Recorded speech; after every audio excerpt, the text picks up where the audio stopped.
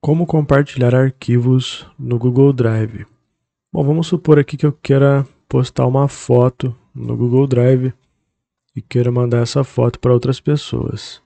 Então aqui eu arrastei a foto aqui para o meu Google Drive, tá? E aí nele aqui você vai clicar na, nessa foto ou vídeo, ou seja lá o que você quiser enviar.